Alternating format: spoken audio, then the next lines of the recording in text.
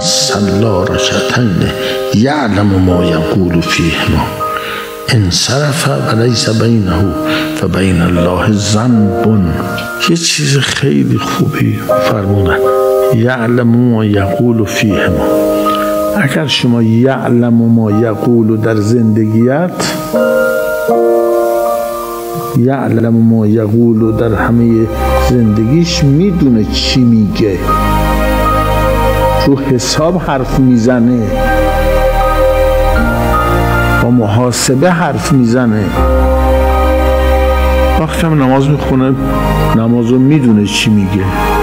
شما تمرین کردی در تمام زندگی تمام زندگی یعلم ما یقول. ما یقول.